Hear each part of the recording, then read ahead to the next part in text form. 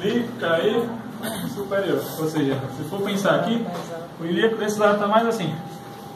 E eu quero levar ele para baixo. Aí eu não vou fazer já daquela forma. Eu vou estar aqui, segura aqui assim, respira, puxa o ar, soltou. Se fosse a terceira vez de vocês lá, você inferioriza. Eu puxo aqui, eu estou trazendo ele para baixo. Se eu penso na mecânica, mais uma vez. Todo mundo entendeu isso?